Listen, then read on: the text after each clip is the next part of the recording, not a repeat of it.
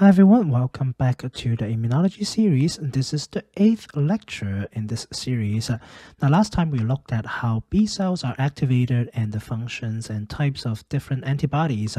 In this lecture, we will continue to look at other aspects of antibodies in terms of their structure and how they get the diversity and conclude that with a brief overview of the application of therapeutic antibodies. So let's get started. This lecture can be broken down into three main themes. Number one, antibody structure and binding characteristics. Number two, how antibodies attain diversity. And three, applications of antibodies. When we describe antibodies, generally speaking, they have high affinity and specificity toward their antigens or specific epitope of a given antigen. Now, high affinity means they bind very tight to the target, and high specificity means they will only bind to that given antigen and nothing else. High specificity is a good feature because that means it will have a less off target effect. But if an antigen mutates very rapidly or outpaces vaccine development, for example, for the given antigen, then we will see the loss of binding of that antibody. Now here is an example to show you the specificity of different antibody. Now on the left panel here we have fluorescently labeled anti-A antibody it only binds to antigen A but not antigen B and D, and it shows up green in the upper left hand corner block. Now, even though antigen A, B, and D share 80% similarity in their protein sequences, uh, it doesn't show light up. Now, likewise, similar effects are seen in anti B antibody that lights up against antigen B and anti-D antibody lies up against antigen D. Now let's look at the antibody structure more closely. When we treat antibodies with an enzyme called pepin, the enzyme can digest the hinge of each heavy chain and reduce the disulfide bonds that connect the two hinges. This yields three fragments two Fab fragments that can bind to the antigen, and a Fc fragment that can be crystallized in the experiment. Another notable feature of the hinge region is that it is flexible in some way. This allows the antibody to bind with both arms or the forks to many different arrangements of antigens on the surface of pathogens. The graph here shows three different antibodies bind with both arms to antigens at different distance apart. Last time we mentioned the differences between the five antibody isotypes were based on the different Fc regions. Now, in fact, the Fc region also defines antibody functional capability. For example, the Fc region of IgG binds to Fc gamma receptor on phagocytes and participates in opsonization. And in comparison, the Fc region of IgE binds to Fc epsilon receptors on mast cells and leads to sensitization and degranulation during an allergic reaction. Now let's take a look at the antibody structure from the chain standpoint.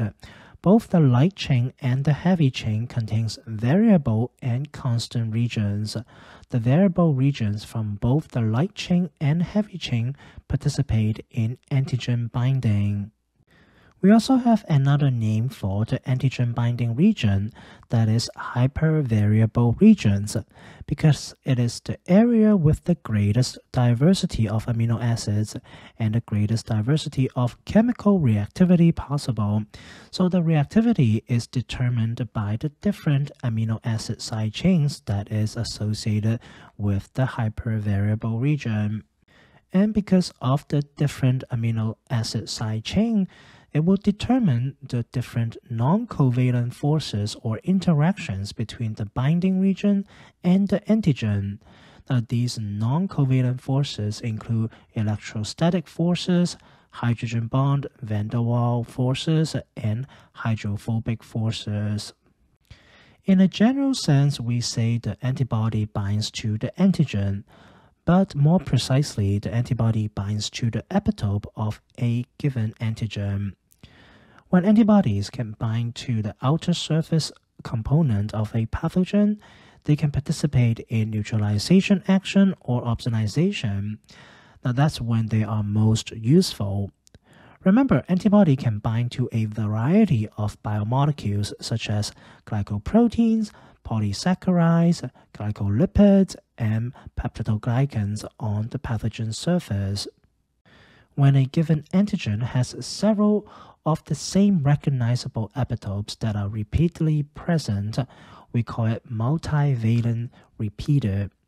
When an antigen has different recognizable epitopes, we call it multivalent varied. Now, when we look closer at the binding action, a linear epitope can provide more binding interaction with the variable region in the left hand side graph. And in contrast, a discontinuous epitope provides less contact points and a weaker binding between the two. In addition of the interaction surface, which often determine the affinity, the three-dimensional shape or 3D shape of the antigen can also determine the specificity. Now the concept is not so different from a lock and key mechanism. Here are the examples of a small compact antigen that can sneak into a small binding site on the variable region. And the second graph here is a shallow groove. And the third graph is an extended surface. And lastly is an epitope that is a pocket that allows a protrude hypervariable region to interact with. We have just looked at antibody structure and binding characteristics. Now let's take a look at how antibodies attain diversity. Our body regularly manipulates DNA in order to generate B cell or immunoglobulin diversity through three major mechanisms. Number one is somatic recombination. Number two is junctional diversity. And three, somatic hypermutation. And we'll look at these mechanisms in the next few slides. Before we look at the specific mechanisms, we need to be aware that antibody diversity is generated at the gene level, and there are multiple gene complexes in the DNA that codes for different parts of the antibody.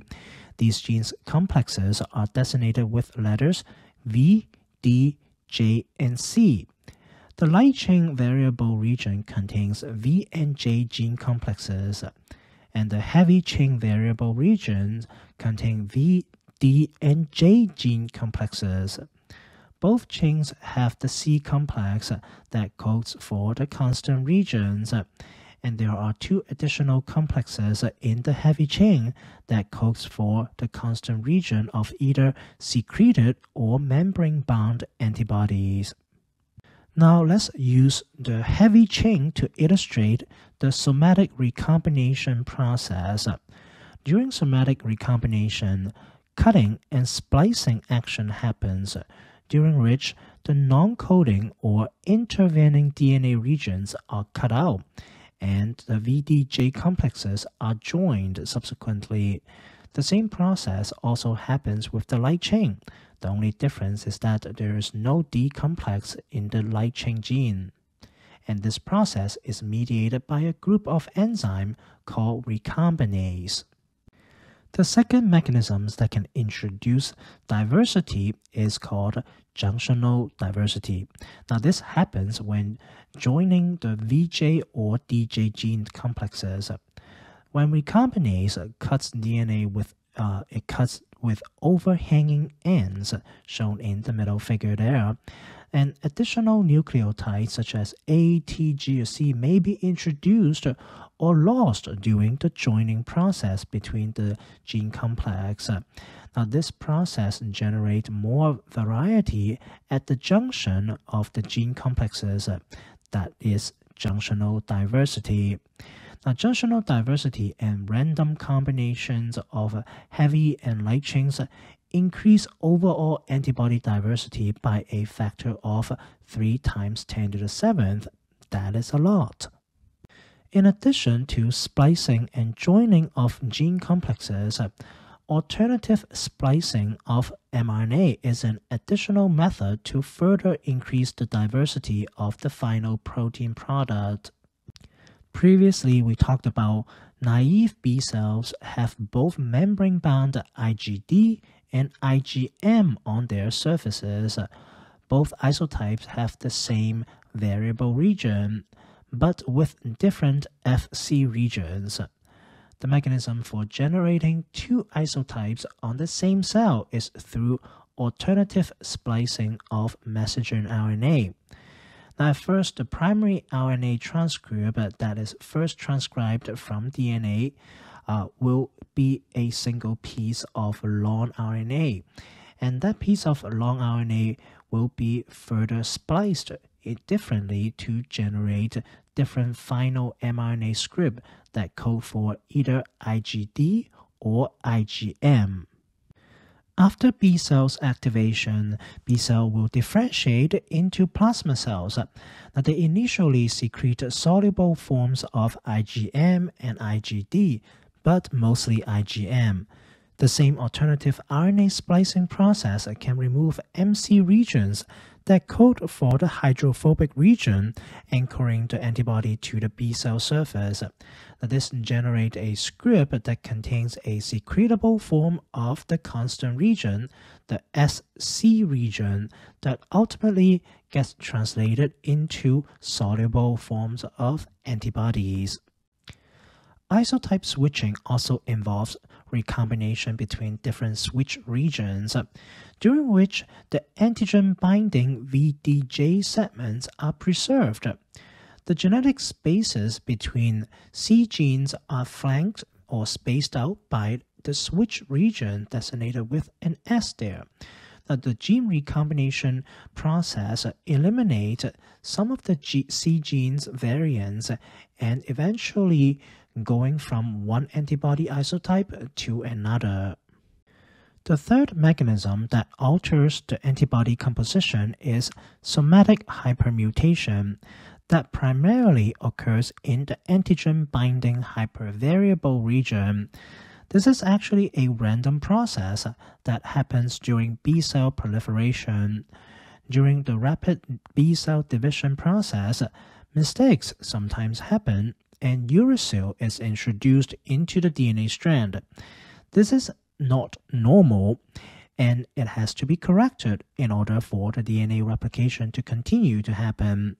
So DNA repair enzymes comes in and remove uracil and replace it with either A, T, G, or C at random. So the antigen binding domain is altered that way. The altered antigen binding domain may or may not have a higher affinity for a given antigen. But after the clonal selection and proliferation process, only those B cells with higher affinity binding antibodies will proliferate and differentiate into plasma cells. Now, as an immune response matures, the affinity of antibodies for pathogen becomes progressively greater. So, in that case, the affinity is matured. Now we are switching gear again a little bit to cover artificial manipulations of DNA to generate antibodies for experimental or therapeutic purposes. As early as in 1895, there were reports and experiments of using horse anti-serum prepared by immunizing various animals with a, a mixture of two preparations of mycobacterial substance to treat tuberculosis. Now, in their experiments of 412 TB patients, more than half had significant improvement or complete recovery because getting of getting that serum. Now we have to understand that having TB in 1895 was like a death sentence for many patients. So this serum therapy at the time was revolutionary and highly successful. But using non-human proteins or antibodies as a therapy can produce type 3 hypersensitivity, which is characterized by generating IgG antibodies against those foreign proteins. Now, that would lead to immune complexes formation, precipitation, and deposition in tissues. Now, ultimately lead to activations of the complement and other innate immune response, and those are characterized by two major type of reaction. One is called Arthus reaction, which is characterized by a local redness and injection site reactions, and more seriously, it would lead to serum sickness, which is a systematic or systemic reaction. Before the advancement of recombinant DNA technologies that generate modern monoclonal antibodies that are used for diagnostics and therapeutics, antibodies were generated using animals. Traditionally, animals such as rabbits, goats, and mice, rats are immunized with the antigen of interest, and it usually require multiple doses to generate a enough immune response. After about 7 to 11 weeks, a couple months, the animal blood is collected and the plasma containing antibodies are isolated. Now, these antibodies are usually polyclonal, which means they are a mixture of antibodies against a specific antigen, but each recognizing a different epitope or region of the antigen. Now, when we get vaccinated, we also generate polyclonal antibodies against the antigen that is in the vaccine. The bottom here are just some examples of therapeutic polyclonal antibodies that targets multiple T cell antigens. These therapeutic polyclonal antibodies are used as immunosuppressants to suppress transplant rejections through inhibition of antigen presentation and diapedesis. These days, we more commonly hear the term monoclonal antibody. The early monoclonal antibodies were produced by a cell line called hybridoma in the mid 70s of the 20th century, scientists first fused B lymphocytes with immortal cancer myeloma cells to produce a cell line which was both immortal and a producer of specific antibodies. The, these two scientists were awarded the Nobel Prize for Medicine in 1984 for the development of this hybridoma. Now, each hybridoma produces a relatively large quantity of identical antibody molecules. By allowing the hybridoma to multiply in a culture in a petri dish, it is possible to produce a population of cells, each of which produces identical antibody molecules.